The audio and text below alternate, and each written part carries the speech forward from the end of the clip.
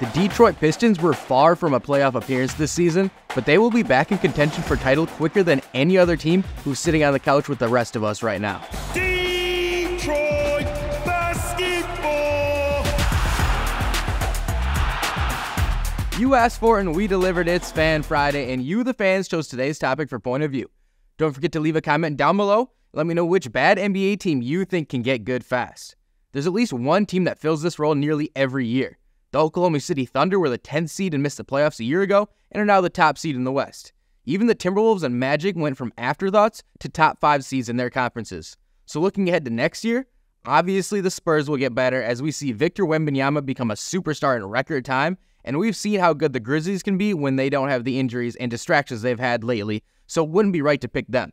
That still leaves a handful of bad teams to choose from, and I think there's no better team to put your faith in than the Detroit Pistons.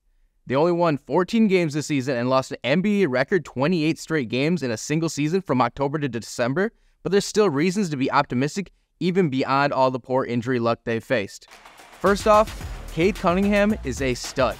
The former first round pick has battled his own injuries but has otherwise been elite in his first three seasons in the league and is steadily making strides as the top option.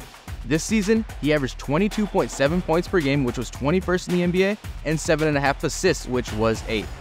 It'll be more difficult to get those stats when the roster improves around him, but the time he's getting right now as the clear number one is invaluable to his development. Here's what Cunningham had to say at the end of the season interview about what he learned this season. I know the NBA now. I know what players are out there. I know what I'm going to see. I'm confident about who I am on the basketball court. I'm confident about who my teammates are. So for me, I mean, I'm more optimistic than ever than just being able to have a better year next year than this one and continuing to build towards my goals. Having a young star like Cade leading the team is a great start, and the Pistons need to sign him to a big extension soon but they have a bunch of players who are 22 years old or younger on rookie contracts who could be franchise cornerstones. Before we get to that, here are the results of this week's poll question. Thanks to everyone who voted, and look out for another question next week. Back to the young guys.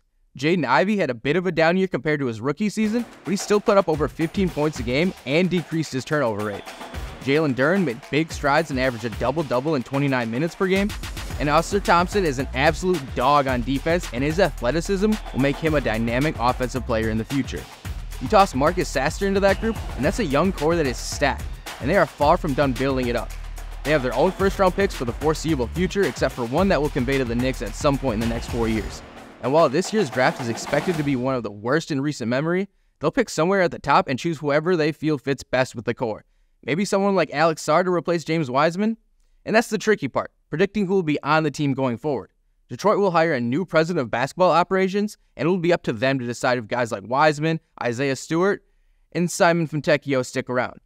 To be honest, I don't really care who stays and goes among the players not on rookie contracts. When the Pistons are back in contention, they're going to look a whole lot different. But what we have learned from those guys who could be out the door is that Detroit is a desirable city to play for and cares about basketball and developing its players. A big reason for that is, of course, Cade Cunningham. Here's what Fontecchio had to say about Motorcade's leadership. I loved it from the first moment. I think it was uh, my first game here with the in LA against the Clippers, and he came up to me and you know started asking me questions like, "Well, tell me where you want the ball, how you want the ball." And I'm like, "Nobody, anybody didn't really ever ask me stuff like this." So uh, I told him, "He said, you do your thing. I'll be, I'll, I'll try to be available as much as I could." And uh, uh, I really enjoy playing with him. I think he's he's a real point guard, and uh, I think the, the Detroit is be very very lucky to have him, and uh, I'm personally very lucky to have him as a teammate. I just love to play with him.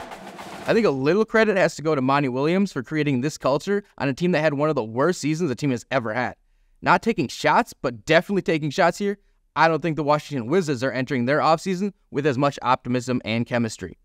So, as for the question of which NBA team that had a bad season will improve the quickest, it's got to be Detroit. And a team that the Pistons can use as an example of quick rebuild is the Minnesota Timberwolves. For more on how they've built a title contender, check out our recent point of view. Enjoy the weekend, and we hope to find you here again next week.